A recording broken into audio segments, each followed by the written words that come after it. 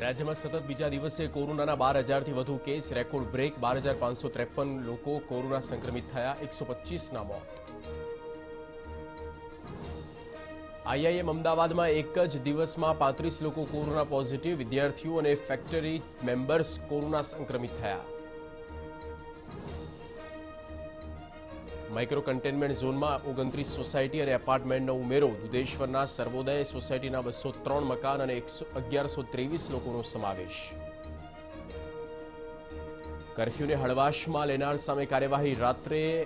નવ વાગ્યા બાદ પણ વાહનોની અવરજવર ચાલુ રહેતા જમાલપુરથી મેમકો સુધી પોલીસ કાફલાનું પેટ્રોલિંગ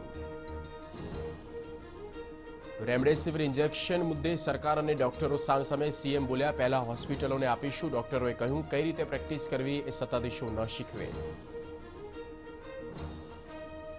કોરોના થયા પછી પણ ચેતવાની જરૂર નેગેટિવ થઈ ગયા બાદ પણ બ્રેઇન સ્ટ્રોકના કેસ વધ્યા આરટીપીસીઆરમાં પણ નેગેટિવ આવે એટલે સલામત ન માની લો ડોક્ટર્સની સલાહ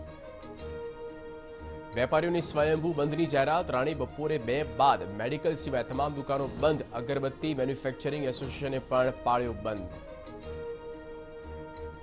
શહેરના જ્વેલર્સ સ્વૈચ્છિક લોકડાઉનમાં જોડાશે ત્રેવીસ એપ્રિલથી ત્રણ દિવસનું સ્વૈચ્છિક લોકડાઉન વિવેકાનંદ નગર હાથીજણ આસપાસના વિસ્તારોમાં ત્રીસ એપ્રિલ સુધી ફરી આંશિક લોકડાઉન